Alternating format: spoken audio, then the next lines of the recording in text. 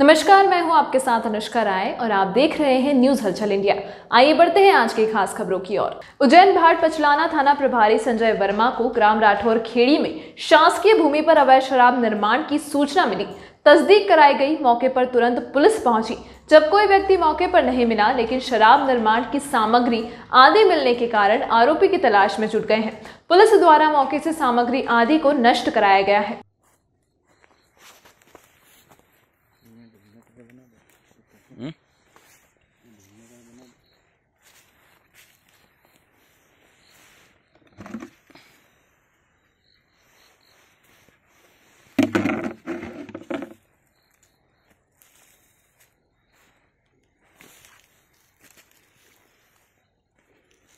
बोला उसको। हम्म?